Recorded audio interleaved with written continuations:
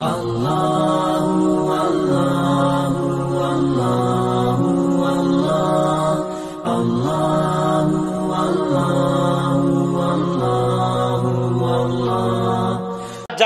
আগুনে জ্বলবে কারা জানো? যারা হতবাগা তারাই জাহান্নামের আগুনে জ্বলবে। আমার মহিলাটি আব্দুল কাদির জিলানি রহমাতুল্লাহ আলাইকে বলেন, বড় পীর গো, আমি স্বপ্নে দেখলাম আমার মেয়েটা আগুনের মধ্যে পড়তেছে। মেয়েটা আমাকে বলতেছে, মারে এই আগুন থেকে আমারে বাঁচাও। ও বড় পীর, আমার ঘুম ভেঙে গেছে। আমি সকাল সকাল আপনার কাছে চলে আসলাম।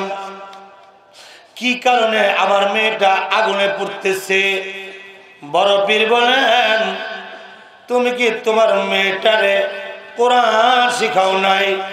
বলেন, আমি কোরআন শিখাই নাই। তোমার মেয়েটাকে কি পর্দার মধ্যে রাখো নাই? বলেন, না, আমি আমার মেয়েটারে পর্দার মধ্যে রাখি নাই। বড় বীর বলেন, আমার তো মনে হইতেছে, শুধুমাত্র কোরআনের বিদ্যা তাকে শেখানোর, না শেখানোর। আসসালামু আলাইকুম রহমতুল্লাহ। মার্কাজুল কোরআন সুন্না মাদ্রাসার উদ্যোগে আয়োজিত আজকের এই ধর্মীয় প্রোগ্রামের শ্রদ্ধাভাজন সভাপতি দেগার মোহতারা মুআজ্জাজ উলামায়ে কেরাম সামনে উপস্থিত দিন প্রিয় ইসলাম প্রিয় দিনদার, ইমানদার, মমিন, মুসলমান ভাইরা বুড়া বাবারা, যুবক বন্ধুরা পর্দার অন্তরালে অবস্থানরতা মা ও বোনেরা, মালিকের আলী শান দরবারে সর্বপ্রথম আমরা শুকুর গুজার হব এই জন্য যে মালিক আমাদেরকে দুনিয়ার বিভিন্ন গুনাহের পরিবেশ থেকে ফারেক করে। চতুর্দিকে যখন বিভিন্ন গুনাহের উৎসব চলতেছে, ঠিক ওই মুহূর্তে গুনা মাফের মজলিস, কোরআন হাদিসের এই মজলিসগুলো গুনা মাফের মজলিস। যতক্ষণ বান্দায় বসে বসে কোরআন হাদিসের কথা শোনা আল্লাহর রসুল বলছেন, তার গুনাহ মাফ হইতে থাকে। খুশনসিব আপনাদের যারা গুনার পরিবেশ ছেড়ে গুনাহ মাফের পরিবেশে এসে বসেছেন,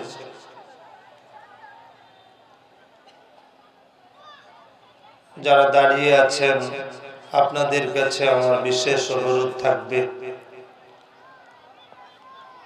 আসলে বড় বক্তা নই, যারা বড় তারা আসতেছেন, আমরা ছোট। কিন্তু কথা হবে, বড় বক্তা যে কোরআন থেকে বলবে, যে নবীর হাদিস বলবে, আমরাও সেই কোরআন থেকেই বলব, সেই নবীর হাদিসই বলব। এই জন্য আমার গুরুত্ব না দিয়ে, নবীজির কথার গুরুত্ব দিয়ে, আল্লাহর কথার গুরুত্ব দিয়ে আমরা বসে যাই। যারা দাঁড়িয়ে আছেন, মেহরবানি করে আপনারা বসে পড়ুন। আল্লাহ পাক সবাইকে বসার তৌফিক দান করেন। আপনারা আমিন বলেন। মোহতারাম হাজিরিন এ সমস্ত দিনে মাহফিলে বসলে ইমান তাজা হয়, আল্লাহর কথা স্মরণ হয়, নবীজির কথা স্মরণ হয়। এই যে একটু আগে আপনার একটা ইসলামিক গজল শুনলেন, গজল, গান শুনলেন, ইসলামিক গান, মরণের কথা স্মরণ হয় নাই? মরণের কথাও স্মরণ হয়েছে। আবার বাজারে যান, এগুলো পাবেন না। সব মজমায় এগুলো পাওয়া যায় না। এই সমস্ত দিনই মজমায় আসলে আল্লাহর কথা স্মরণ হয়, নবীর কথা স্মরণ হয়, আখেরাতের কথা স্মরণ হয়, মৌতের কথা স্মরণ হয়। অন্যথায় মাসের পর মাস যায়। মৃত্যুকে আমরা স্মরণ করতে পারি না। অথচ আল্লাহর রসুল বলছেন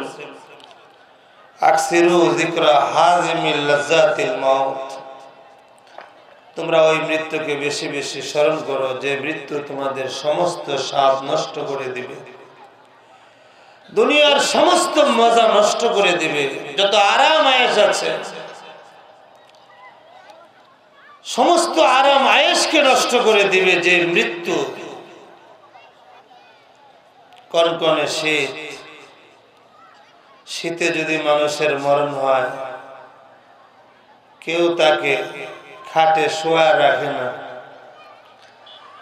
ভালো কম্বল দিয়ে তাকে কেউ ঢেকে রাখে না।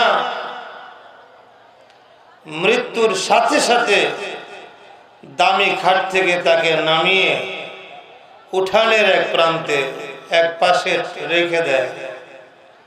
বালিশ পর্যন্ত থাকে মৃত্যুটা দুনিয়ার সব স্বাদ নষ্ট করে দেয়। নবীজি বলছেন, কেউ যদি বিশ বার মৃত্যুকে স্মরণ করে, তাইলে শহীদের মর্যাদা নিয়ে কবরে যাবে। কিন্তু আমরা দৈনিক বিশ বার স্মরণ করব, মাসেও তো করি না। এমনও মানুষ আছেন যারা বছরেও মৃত্যুকে স্মরণ করে না। কেউ যদি মারা যায় আপনজন যদি মনে চায় জানাজা যাইতে, তাইলে হয়তো জানাজার ওই দৃশ্য দেখে মৃত্যুর কথা মনে হয়, নাইলে হয় না। আসলে সমস্ত যিনি দিনই মাহফিলগুলোতে আসবেন মৃত্যুর কথা স্মরণ হবে। মনে চাইবে যে একটু মৃত্যুর জন্য আমরা প্রস্তুতি গ্রহণ করি। এই সমস্ত মজমা থেকে দূরে থাকবেন, তো মৃত্যুকে বলতে থাকবেন। আর যারা মৃত্যুকে ভুলে যায়, তারা মৃত্যুর সামান সংগ্রহ করতে পারে না। আল্লাহ জাল্লা শাহ আমাদেরকে মায়া করে, দয়া করে, এত সুন্দর এক বরকতি মাহফিলে আসার এবং বসার তৌফিক দান করছেন। এই জন্য সবাই শুকর গুজার হই, বলি আলহামদুলিল্লাহ। মোহতারাম হাজির কালামুল্লাহ শরীফ থেকে খুব ছোট্ট একটি আয়াতের অংশ বিশেষ তেলাওয়াত করেছি। আল্লাহ নবীর অসংখ্য হাদিস সমূহ থেকে একটি হাদিস পাঠ করেছি। কোরআনের এই আয়াত নবীর হাদিসকে সামনে নিয়ে কিছু উপকারী উপকারী কথা বলতে থাকা আর শুনতে থাকা। মালিক যেন আমাকে যা বলব তার উপর আমল করার। আপনারা যারা শুনবেন, তারাও যেন আমল করার নিয়তে শুনি, আল্লাহ সবাইকে সেই তৌফিক দান করে মোহতারাম হাজিরিন আমরা যারা বান্দা, পৃথিবীতে আল্লাহ পাক আমাদেরকে দুনিয়া এবং আখেরাতের সবচেয়ে বড় নিয়ামত আল্লাহ আমাদের দিচ্ছেন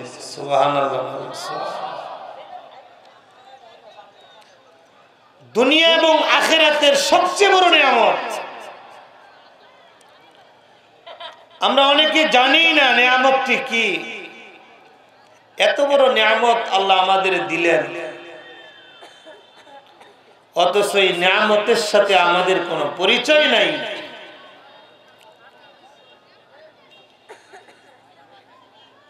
নিয়ামতটি হলো কোরআন। দুনিয়া এবং আখেরাতের সবচেয়ে বড় নিয়ামতের নাম কি বলেন?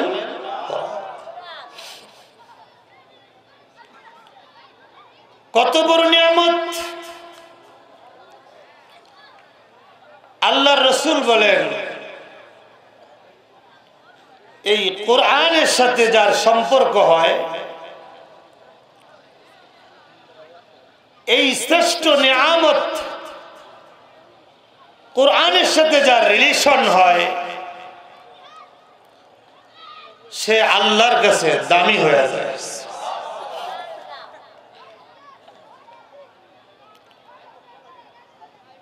কোরআনের উপর একটা গিলাফ লাগায় মানুষ। খুব দামি কাপড় না। আমরা বিছানায় যে কাপড় বিছাই, এর চেয়ে আরও কম দাম। যে কাপড় আমরা গায়ে দেই, এই কাপড়ের চেয়েও কোরআনের যে গিলাফ বানানো হয়, ওইটার দাম আরও অনেক কম। কিন্তু যদি গিলাপের মধ্যে পা লেগে যায়, তখন আমরা আশ্চর্য হয়ে যাই, হায়, কি করলাম? গিলাপের মধ্যে পা লেগে গেছে কারণ কি? কারণ গিলাপটা যদিও কম দামি, কিন্তু তার সম্পর্কটা কোরআনের সাথে হয়ে গেছে, এজন্য গিলাফটাও দামি হয়ে গেছে।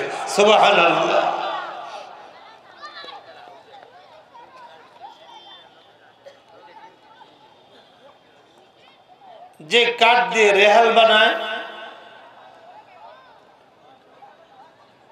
কত দামি খাটে আমরা শুয়ে থাকি। আমাদের পায়ের ছোঁয়া লাগে খাটের উপর। কোনদিন খাটকে আমরা চুমু দেই না বুকে লাগাই না। কিন্তু কোরআন যেই কাঠের উপর রাখা হয়, কোরআনের জন্য যে রেহাল তৈরি হয়, এই রেহালের মধ্যে যদি কারও পা লেগে যায়, সাথে সাথে সে রেহালকে চুমু দিতে থাকে। বুকে লাগায়। কেন? কারণ এই কাঠ, তোমার খাট যে কাঠ দিয়ে তৈরি করা হয়েছে, ওইটার মতো না। ওই কাঠের চেয়েও এখন অনেক দামি হয়ে গেছে। এই কাঠ, যেই কাঠের ছোঁয়া লেগেছে কোরআনের সাথে। সুবাহান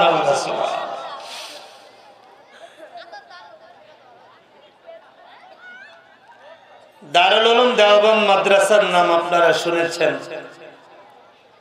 উম্মুল মাদারিসিন। পৃথিবীতে যত মাদ্রাসা আছে, সব মাদ্রাসার মা বলা হয় যাকে। দারুল উলুম দেওবন্দ মাদ্রাসায় তখন তো এত বড় বড় বিল্ডিং ছিল না। খোলা ময়দানে ছাত্ররা কোরআন শরীফ শিখতেন, উস্তাদরা শিখাইতেন। এমন সময় বৃষ্টি এসে গেছে। ছোট ছোট বাচ্চারা কোরআন পড়তেছিল তো। বৃষ্টির ফুটা যখন পড়তে লাগল, তো বৃষ্টি থেকে বাঁচার জন্য তারা এই জুতা রেখে ওর একটা ঘরে চলে গেল। কিন্তু যিনি উস্তাদ, এক বুজুর্গ, উনি ওই রুমালটা দিয়া ছাত্রদের যত জুতা আছে, সবগুলো জুতা রুমালে নিয়ে মাথায় করে ওই ঘরের দিকে যাইতেছে। কোরআনের ছাত্রের জুতা।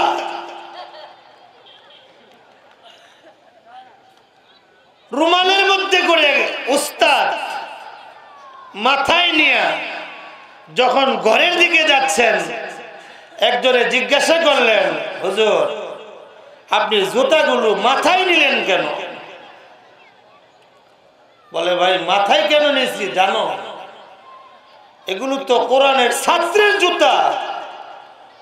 কেয়ামতের ময়দানে আমি আল্লাহকে বলতে পারব, আল্লাহ, আমি আপনার কোরআনকে ইজ্জত করেছি।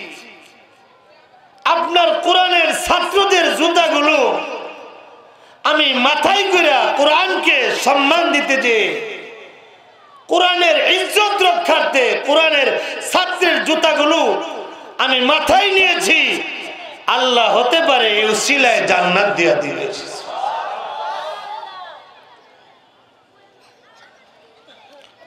কোরআনের সাথে কোরআনের ছাত্রের সম্পর্ক এই জন্য ছাত্র দামি ছাত্রের সাথে তার জুতার সম্পর্ক এই জন্য জুতাও দামি হয়ে গেছে।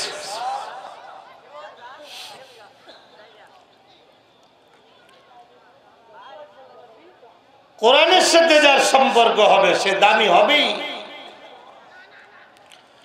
দুনিয়াতেও দামি, আখেরাতেও দামি। আল্লামা আহমদ শবি সাহ রহমতুল্লাহ আপনারা কি নাম শুনছেন? উনি কি একজন দামি মানুষ ছিলেন? কেন এত দামি হলেন?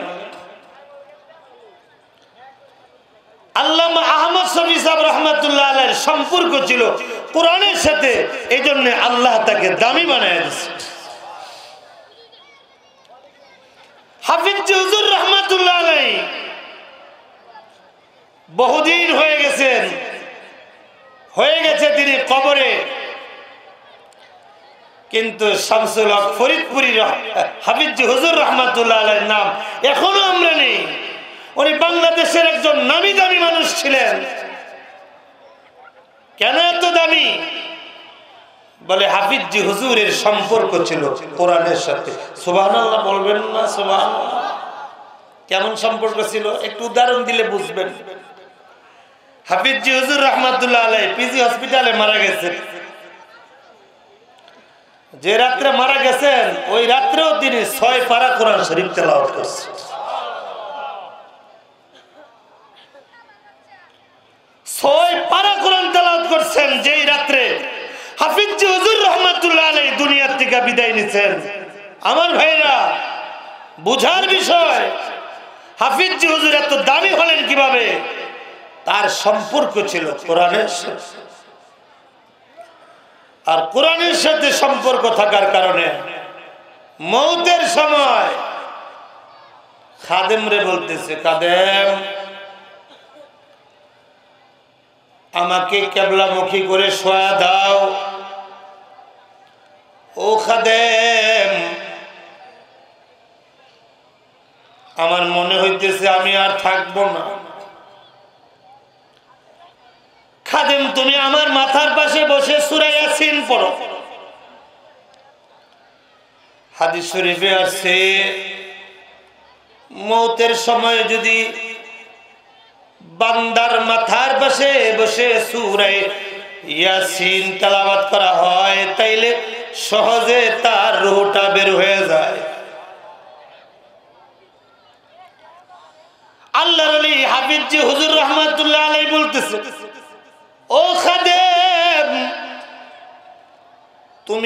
মাথার পাশে বসে সুরাই ইয়াসিন পড়ো।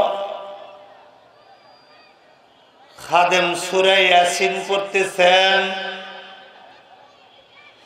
হাফিজি হুজুর রহমাতুল্লাহ আলাই শুনতেছেন সুরাই ইয়াসিন শেষ হয়ে গেছে। এমন সময় খাদেমকে লক্ষ্য করে বলতেছেন, ও খাদেম তুমি আমার সাথে পড়ো ইল্লাল্লাহু মুহাম্মাদুর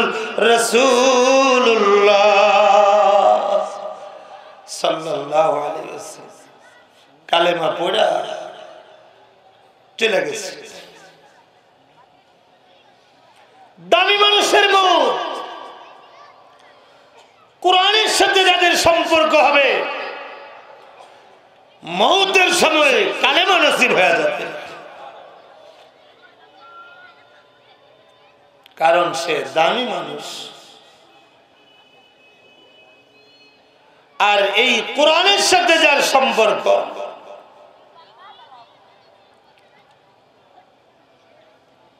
কেমতের ময়দানে এই কোরআন তার জন্য সাফাতকারী হয়ে قال النبي صلى الله عليه وسلم قال النبي صلى الله عليه وسلم القرآن يشفع للعبد আল্লাহর নবী বলেন ও দুনিয়াবাসী শোনো কোরআনের সাথে যদি সম্পর্ক করতে পারো যেদিন হাসর কায়েম হবে হাসরের ময়দানে কোরআন তোমার পক্ষে সুপারিশকারী হয়ে যাবে। দুনিয়ার জমিনে যদি কোরআনের সাথে সম্পর্ক করতে পারো, তাইলে তুমি জান্নাতি হয়ে যাবে। আল্লাহর নবী আরেক হাদিসে বলেন কলেন নবী ও সাল্লাল্লাহু আলাইহি ওয়াসাল্লাম ইন্নাল জান্নাতা তাশতাকু ইলা খামসি নাফারিন তালিল কুরআন। তালিল কুরআন। হাফিজিল লিসান। মুতমিল জিয়ান। ওয়া মুকসিল উরিয়ান। ওয়া মান সাল্লা হাবিবির রহমান। আল্লাহর নবী বলেন, পাঁচ শ্রেণি মানুষের দিকে জান্নাত তাকে আছে। জান্নাত পাঁচ শ্রেণির মানুষের জন্য অপেক্ষা করতেছে। কবরে যেতে দেরি, জান্নাতে যেতে দেরি হবে না।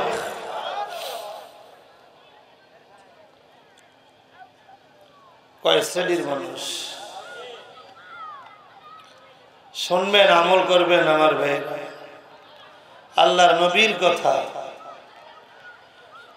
এক নম্বর, তালিল কোরআন। যারা কোরআন পড়বে, যারা কোরআন শিখবে, এরকম কোরআন তেলাবাতকারী মানুষগুলোর দিকে জান্নাত তাকায় আছে। আমার ভাইরা, শুধু কি তাই? পয়গম্বর একদিন হযরত আবু হুরাইরা রাদিয়াল্লাহু তাআলা আনহুকে ডেকে বলেন আবু হুরাইরা রে ইয়া আবা হুরাইরা তাআল্লামিল কুরআন তাআল্লামিল কুরআনা ওয়াল্লিমহুন নাস ولا تزال كذلك حتى يأتيك الموت ফাইন আতাকাল মাউতু ও আন্তা কাযালিকা জারাতিল মালাইকাতু কবরাকা কামা ইউজারুল বাইতুল আতিক। আল্লাহর নবী বলেন, আবু হুরাইরা কোরআন শিখো, কোরআন শিখাও। মৌত পর্যন্ত কোরআন শিখবা, কোরআন শিখাইবা। আওয়াজ করে বলেন, আল্লাহর নবী প্রিয় সাহাবী, হযরত আবু হুরায়রা রাদিয়াল্লাহু তাআলা কে ডেকে বলেন, আবু হুরায়রা রে, কোরআন শিখবা, আবার কোরআন শিখাইবা। মৃত্যু পর্যন্ত তোমার আমল তুমি কিন্তু কখনো কোরআন শিখা এবং শিখানোর কাজ থেকে তুমি সরবানা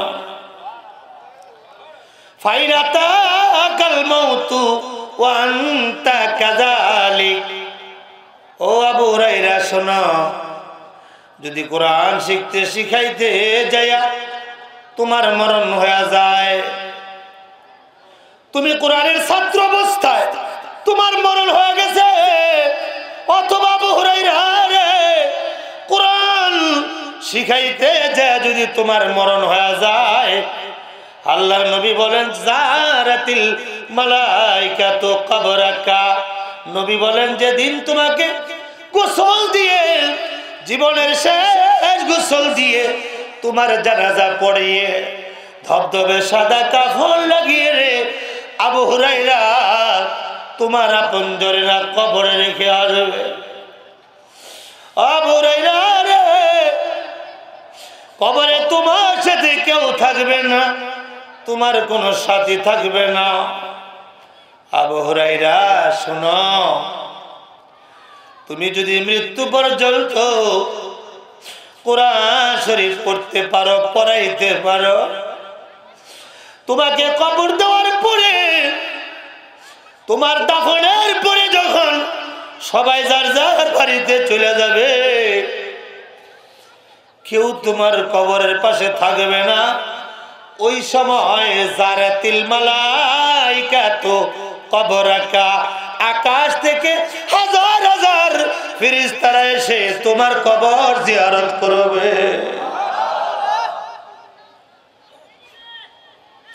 আবু রে, মৃত্যু পর্যন্ত তুমি কোরআন পড়ো, কোরআন পড়াও। ফায়দা কি হবে? জারাতিল মালাইকাতু কবরাক। ফিরিস্তার আকাশ থেকে দলে দলে নামবে, নেমে তোমার কবর জিয়ারত করবে। কামায়ুজারুল বাইতুল আতিক, যেমন নাকি দুনিয়াবাসী কাবা ঘরে ঘর জিয়ারত করে। হাজার হাজার মানুষ যেমন জিয়ারত করে।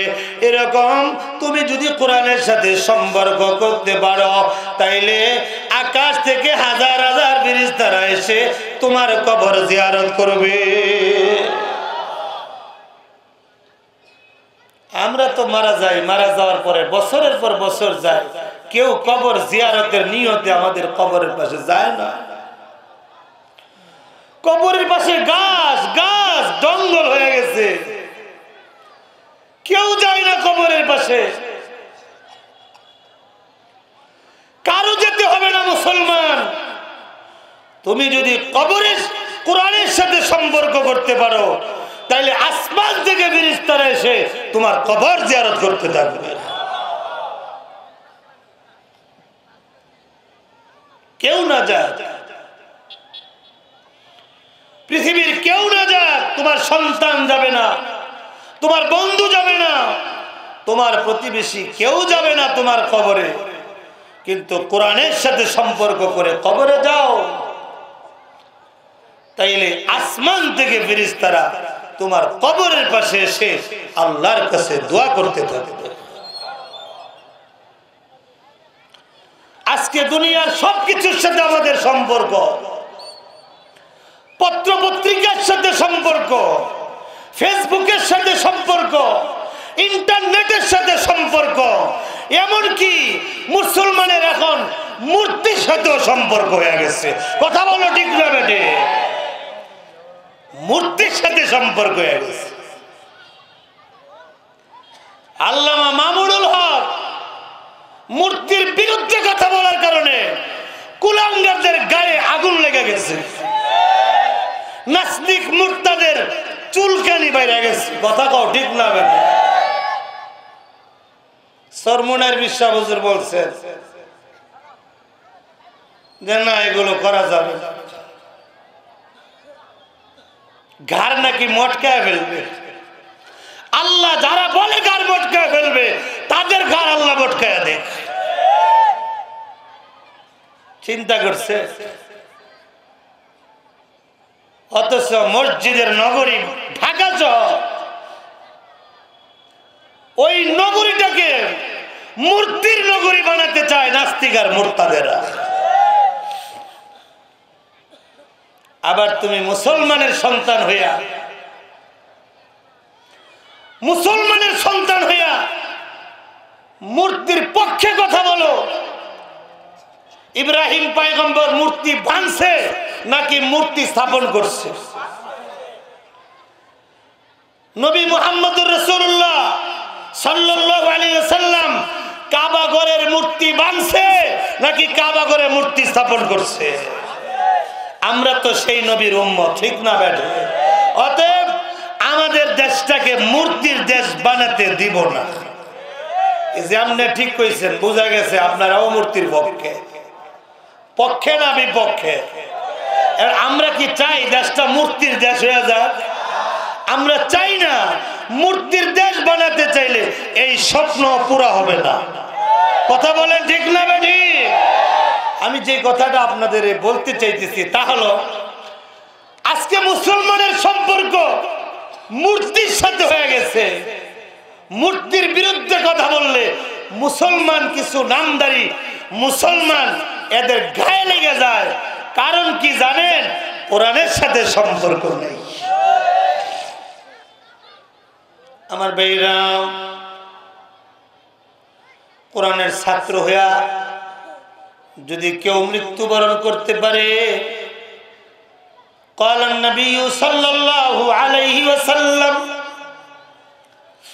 قال النبي صلى الله عليه وسلم إذا جاء الموت طالب العلم على تلك الحال مات شهيدا আল্লাহর নবী বলেন কেউ যদি কোরআন পড়ারত অবস্থায় মারা যায় তাইলে সে যেন শহীদ হইয়া মারা গেল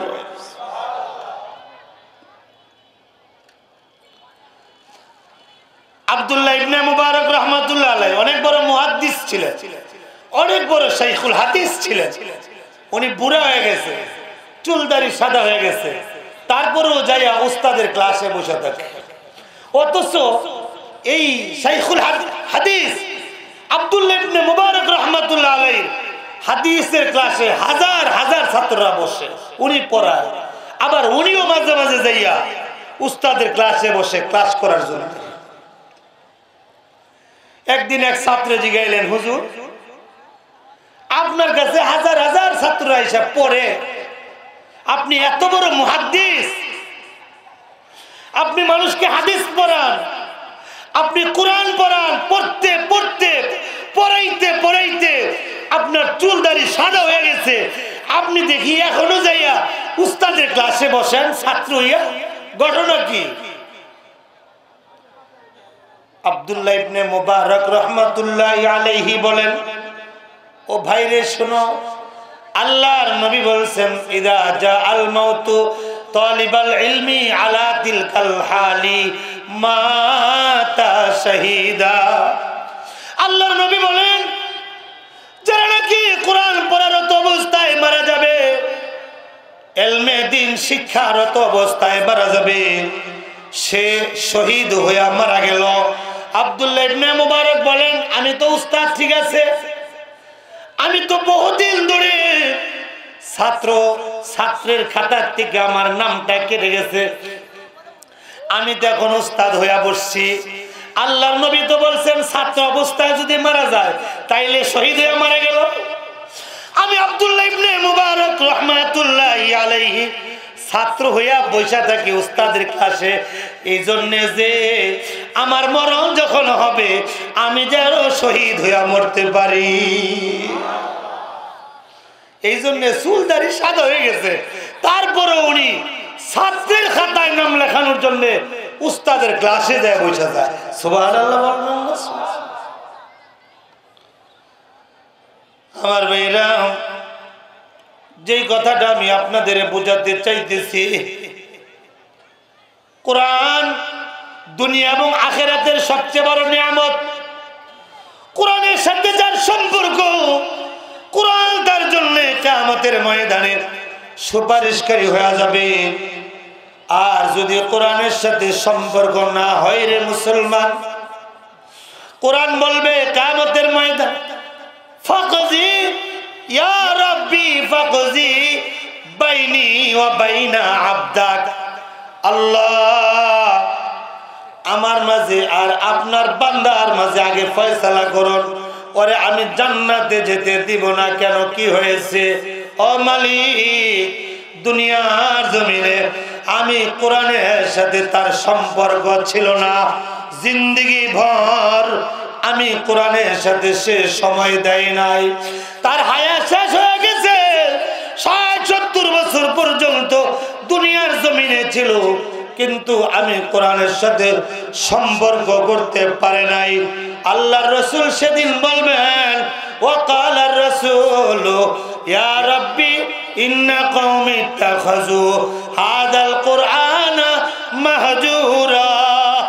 আল্লাহর নবী দিন বলবেন, দুনিয়াতে যারা সাথে সম্পর্ক করবে না, যারা নাকি কোরআন থেকে দূরে থাকবে কিয়ামতের দিন আল্লাহর নবী ওই মানুষগুলোর বিরুদ্ধে আল্লাহর আদালতে, আল্লাহর কাছে অভিযোগ দায়ের করবে, ইয়া ইন্না কওমি ইত্তাখাযু হাযাল কুরআন মাহজুরা। আয় আল্লাহ, এই যে আমার উম্মত, এরা দুনিয়াতে থাকা অবস্থায় কোরআনের সাথে সম্পর্ক করে নাই। কোরআন থেকে তারা দূরে ছিল, কোরআন ত্যাগ করেছিল। পয়গম্বর যখন এই কথা বলবেন, ও বাইরে, আল্লাহর নবী যদি আমাদের বিরুদ্ধে এভাবে অভিযোগ দায়ের করেন, বলুন তো আমাদের পরিণতি কি হবে? এ ভাই, এই জন্যে দুনিয়াতে থাকা অবস্থায় কোরআনের সাথে সম্পর্ক করতে হবে। রাজি আছেন? কি সবাই রাজি আছেননি কোরআনের সাথে সম্পর্ক ছাড়া জান্নাত পাওয়া যাবে না। জান্নাত পাবেন না। যদি কোরআনের সাথে বান্দার সম্পর্ক না হয়। আমার ভাইরা আব্দুল কাদের জিলানি রহমতুল্লাহ আলাইয়ের কাছে এক মহিলা আসছেন। আইসা বলতেছেন, বড় আমার স্বামী মারা গেছে অনেক বছর আগে। কিন্তু আমার এক কন্যা সন্তান ছিল, কন্যা সন্তান। কন্যা সন্তানের চেহারাটা দেখে দেখে আমি আমার স্বামীর চলে যাওয়ার সুখ আমি সহ্য করে নিতাম। আমি আমার সন্তানের চেহারার দিকে তাকিয়ে আমার সেই চলে যাওয়া স্বামীকে আমি ভুলে থাকতাম। কিন্তু কিছুদিন আগে আমার কন্যা সন্তানটিও আল্লাহ নিয়ে গেল। নিয়ে গেছে তো নিয়ে গেছে। এই পর্যন্ত আমি একদিনও আমার মেয়েটারে স্বপ্নও দেখি না আমার মন চাইতেছে আমার মৃত মেয়েটিকে স্বপ্নে দেখার জন্য। বড় পীর, আপনি আমাকে এমন কিছু আমল দেন যেই আমলগুলোর দ্বারা আমি আমার মেয়েটাকে স্বপ্নে দেখতে পারব, আমল করলে।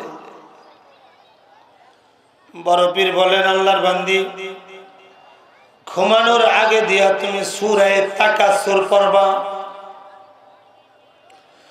বেশি বেশি ঘুমানোর আগে দিয়ে তুমি সুরায় তাকাসুর আল্লাহ কুম তাকাসুর হাত্তা জুরতুমুল মাকাবির কাল্লা সাউফা তা'লামুন সুম্মা কাল্লা সাউফা তা'লামুন কাল্লা লাউ তা'লামুনা ইলমাল ইয়াকিন লাতারাবুন্নাল জাহিম সুম্মা লাতারাবুন্নাহা আইনাল ثم لتسألن يومئذ عن النعيم বড় পীর বলেন আল্লাহর বলদে রে ঘুমানোর আগে দিয়ে তুমি সূরায়ে তাকাসুর তেলাওয়াত করবে সূরায়ে তাকাসুর যদি তেলাওয়াত করে ঘুমাও তাইলে তুমি তোমার মেয়েটিকে স্বপ্নে দেখবে আমার ভাইরা কিছুদিন এই আমল করার পরে একদিন ওই মহিলা স্বপ্নে দেখতেছেন, অনেক দূরে একটা আগুনের কুণ্ড দেখা যায়। বিশাল আগুনের কুণ্ড, আগুন জ্বলতেছে। স্বপ্নে আবার শুনতেছেন তার মেয়ের কান্নার আওয়াজ, তার মেয়ের কণ্ঠে কান্নার আওয়াজ আসছে। মহিলা সামনে গাইতেছে কান্নার আওয়াজ কোন দিক থেকে আসতেছে? লক্ষ্য করে দেখেন, যেদিকে বিশাল আগুনের কুণ্ড, ওই দিক থেকে মেয়েটির কান্নার আওয়াজ আসছে। মহিলা ওই আগুনের কুণ্ডের দিকে যাচ্ছেন স্বপ্নে। যেতে যেতে যখন নাকি আগুনের কুণ্ডের কাছে গেছেন, যা দেখেন তার সেই মেয়েটি আগুনের মধ্যে পড়তেছে। আর মেয়েটি তার মারে দেখে বলতেছে, মারে, ও মা, আমাকে বাঁচাও রে মা। ও মা, দুনিয়ার জমিনে তুমি আমাকে কত আদর করতে, কত স্নেহ করতে গো মা। ও মা তুমি না খেয়ে আমারে খাওয়াইছো, না পরে আমারে পড়াইছো। মারে, আজকে আমি আগুনের মধ্যে পড়ে আছি। ও মা, মৃত্যুর পর থেকে আমি এখনও আগুনের ভিতরে। আমাকে বাঁচাও রে মা, বাঁচাও। মহিলার ঘুম ভেঙে গেছে, আশ্চর্য স্বপ্ন দেখে। সকালবেলা ফজরের নামাজের পরে মহিলাটি দৌড়ে এসে বড় বীর আব্দুল কাদের জিলানি রহমাতুল্লাহ আলাইহিকে লক্ষ্য করে বলেন, বড় পীর আগে স্বপ্নে দেখি নাই, ওইটাই তো ভালো ছিল। আপনি আমল দিলেন, স্বপ্নে দেখলাম। আমার মেয়েটা আগুনের মধ্যে পুড়তেছে। ইন্নাহা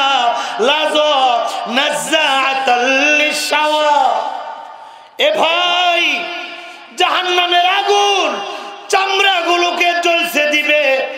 আল্লাহ বলেন, সাবধান সাবধান।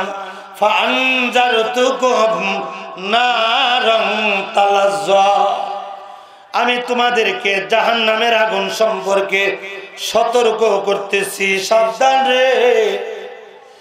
তোমরা এমন কোন কাজ দুনিয়ার জমিনে করো না। যেই কাজের কারণে জাহান্নামের আগুনে জ্বলতে হবে।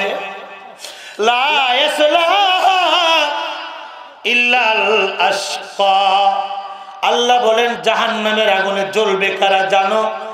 যারা হতবাগা, তারাই জাহান্নামের আগুনে জ্বলবে। আমার মেয়েরা, মহিলাটি, বড় বীর আব্দুল কাদির জিলানি রহমাতুল্লাহ আলাইকে বলেন, বড় পীর গো, আমি স্বপ্নে দেখলাম আমার মেয়েটা আগুনের মধ্যে পুড়তেছে। মেয়েটা আমাকে বলতেছে, মারে এই আগুন থেকে আমারে বাঁচাও। ও বড় পীর, আমার ঘুম ভেঙে গেছে। আমি সকাল সকাল আপনার কাছে চলে আসলাম। কি কারণে আমার মেয়েটা আগুনে পড়তেছে? বড় পীর বলেন, তুমি কি তোমার মেয়েটারে কোরআন শিখাও নাই? বলেন, আমি কোরআন শিখাই নাই। তোমার মেয়েটাকে কি পর্দার মধ্যে রাখো নাই? বলে না, আমি আমার মেয়েটারে পর্দার মধ্যে রাখি নাই। বড় বীর বলেন, আমার তো মনে হইতেছে, শুধুমাত্র কোরআনের বিদ্যা তাকে শেখানোর, না শেখানোর কারণে। তার আজকে জাহান নামের আগুন তার শরীরকে পুরাইতেছে জাহান নামের আগুনে জ্বলতেছে। এই মহিলা, তুমি কি কোরআন শিখেছো বলে না? কোরআন পড়তে পারো বলে না? পারি না। তোমার মেয়ে তো আগুনে পড়তেছে, এবার তুমি নিজে বাঁচো। ইয়া আইয়ুহাল্লাযীনা আমানু কু আনফুসাকুম ওয়া আহলিকুম নারা। নিজে বাঁচাও পরিবারে বাঁচাও। আগুন থেকে যে আগুনের জ্বালানি হবে মানুষ আর পাথর। আমার মেয়েরা, বড় পীর বলতেছেন, তোমার মেয়ে পড়তেছে পুরো কিন্তু এবার তুমি তোমারে বাঁচাও। তোমাকে জাহান্নামের আগুন থেকে যদি বাঁচতে চাও রে দুনিয়াতে থাকা অবস্থায় কোরআনের সাথে সম্পর্ক করতে হবে। তোমাকে কোরআন তালাবাদ করতে হবে, কোরআন বুঝতে হবে। কোরআনের সাথে যদি সম্পর্ক করতে পারো, তাইলে ওই যে আপনারা তো শুনেছেন, বাড়িতে যদি আগুন লাগে বাড়ির সব পুড়ে যায়, কিন্তু কোরআন পড়ে না, ঠিক না বেঠি আমার মসজিদের পাশেই আগুন লাগছে। এক বাড়িতে সারা রাত আগুনে সব কিছু পুরা শেষ। কিন্তু সকালবেলায় ওই বাড়ির পুরুষ ওরা আমাকে দেখাইতেছে যে, হুজুর, দেখেন, একটা কোরআন শরীফ ছিল, কোরআনের গিলাপটাও পরে নাই। সুবাহান আল্লাহ বলবেন না সুবাহ মহিউসন্না আল্লামা মাহমুদুল হাসান সাহ, দামাত বারকাত এক বয়ানে বলতেছিলেন যে যারা কোরআন পড়বে, কোরআনের পাতায় আগুন লাগলে যেমন পুরে না, সব পুরে শেষ হয়ে যায়। উনি কসম খেয়ে বলছেন, কসম খেয়ে বলছেন যদি কারু সম্পর্ক কোরআনের সাথে হয়ে যায়, জাহান্নামের আগুন তাকে পূর্বে না। আল্লাহ বলেন ওয়ারাত্তিরিল কুরআন তার তিলা বিশুদ্ধভাবে কোরআন পড়তে আল্লাহ আমাদের নির্দেশ দিয়েছে কোরআনের সাথে সম্পর্ক করতে বলছে। আজকে আমরা কিসের সাথে সম্পর্ক করতেছি? নিজেও শিখি না। আমি আমার সন্তানদেরকেও কোরআন শিখাই। আব্দুল্লাহ ইবনে মাসুদ রাদিয়াল্লাহু তাআলা অসুস্থ। নবীর সাহাবী ওনার কয়েকজন কন্যা সন্তান ছিল। খলিফা, খলিফাতুল মুসলিমিন, আমিরুল মুমিনিন হযরত উসমান রাদিয়াল্লাহু তাআলা যখন শুনলেন, আব্দুল্লাহ ইবনে মাসুদ রাদিয়াল্লাহু তাআলা খুব বেশি অসুস্থ। উনি আসছেন দেখতে। যাই, দেখে আসি। ওনার নাকি শারীরিক অবস্থা ভালো না। আমিরুল মুমিনিন হযরত উসমান রাদিয়াল্লাহু তাআলা আসলেন। এসে দেখেন মুমূর্ষ অবস্থা। মৃত্যু হয়ে যাবে হয়ে যাবে এমন এক অবস্থা। আব্দুল্লাহ ইবনে মাসুদ রাদিয়াল্লাহু তাআলা হযরত উসমান বললেন আপনি তো চলে যাইতেছেন কবরে। আপনার তো অনেকগুলো মেয়ে সন্তান। আপনি তো তাদের জন্য কিছুই রেখে যান নাই।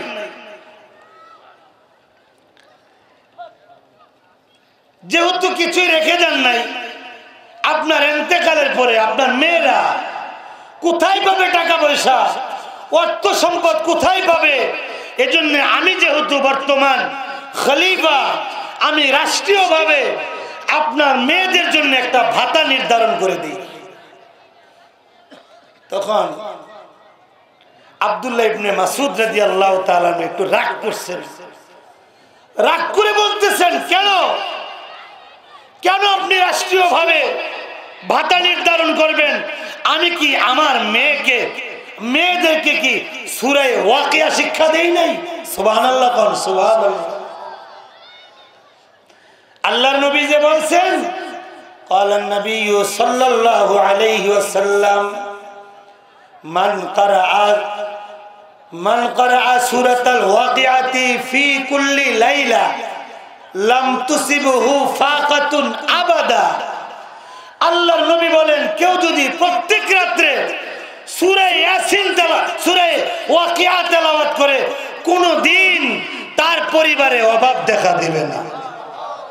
এত আসতে বললেন কেন? সুবহানাল্লাহ মান কারআ সূরাতাল ওয়াকিয়া ফি কুল্লি লাইলা লাম তুসিবহু ফাকাতুন আবাদা। সূরা ওয়াকিয়া প্রত্যেক রাত্রে যদি কেউ তেলাওয়াত করে, তাহলে কোনো অভাব ওই সংসারে দেখা দিবে না। আব্দুল্লাহ ইবনে মাসুদ রাদিয়াল্লাহু তাআলা আনহু নবীজির এই হাদিসটাকে স্মরণ করে হযরত উসমান রাদিয়াল্লাহু তাআলার প্রতি রাগ করে বলতেছেন কেন আপনি রাষ্ট্রীয়ভাবে ভাতা নির্ধারণ করবেন? আমি কি আমার মেয়েদেরকে সুরে হকিয়া শিক্ষা দেইনি? চিন্তা করেন মুসলমান, নিজেও কোরআন শিখেছেন, সন্তানকেও কোরআন শিখাইছেন, যে আমল করলে আল্লাহ রিজিকের ব্যবস্থা করেন, যে আমল করলে কবরে আজাব মাফ হয়ে যায়, যেমন সুরায় মুল্ক সুরায় মুলকের ব্যাপারে বলা হয়েছে, সুরায় মুল্ক যখন কেউ তেলাওয়াত করে, কবরের যে বাসিন্দা কবরের পরে দাঁড়াইয়া এই মুল্ক পড়লে কবরের আজাবও মাফ হয়ে যায় কিন্তু আমরা যে সুরায় মুল্ক চিনি না, হাদিসে আসছে সুরায় মুল্কের তিরিশ আয়াত। কেয়ামতের ময়দানে এই তিরিশ আয়াত আল্লাহর কাছে এই সুরা যারা তেলাওয়াত করবে, তাদের জন্য আল্লাহর কাছে সুপারিশ করতে থাকবে শেষ কথা হলো এই, আমি আপনাদেরকে বুঝাতে চাইছি যে আজকে আমাদের সম্পর্ক হওয়া দরকার কোরআনের সাথে। এটা একটা মাদ্রাসার মাহফিল। এই মাদ্রাসায় ছোট ছোট বাচ্চারা পড়াশোনা করে খুশ নসিব এদের। এদের সৌভাগ্য আপনি পারবেন না ষাট বছর বয়স পাওয়ার পরেও এই ছোট ছোট বাচ্চারা যে বিশুদ্ধ কোরআন তেলাওয়াত করে, পারবেন না আপনারা? তারা যে সুন্দরভাবে সুরা ইয়াসিন পড়ে, সুরা মূল পড়ে, সুরা ওয়াকিয়া পড়ে আইতুল কুরসি পড়ে আর রহমান পড়ে, আপনারা জিন্দিগি তো পারবেন না। এই জন্যে আপনাদের সন্তানগুলোকে মাদ্রাসায় দেন জাহান নামের আগুন থেকে বাঁচান। আর নিজেরাও কোরআনের সাথে সম্পর্ক করেন, আল্লাহর জান্নাতে যান। আমি যে হাদিসটি আপনাদের সামনে পড়েছিলাম, আল্লাহ রসুল বলেন, মান কারা মিন ফালাহু হাসানা লা